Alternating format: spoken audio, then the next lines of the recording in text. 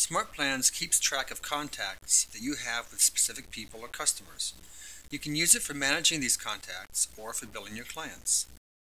To get started, select your client from the project list and start the timer.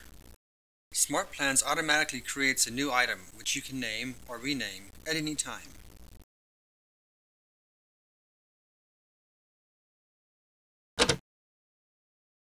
When you are finished, simply mark it done.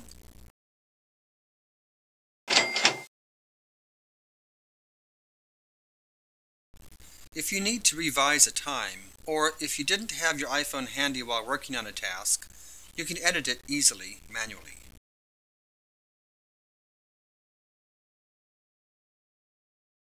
You can view a graphical progress report directly from within the project view. And you can export the report both as a snapshot and an Excel compatible spreadsheet and attach it to an email.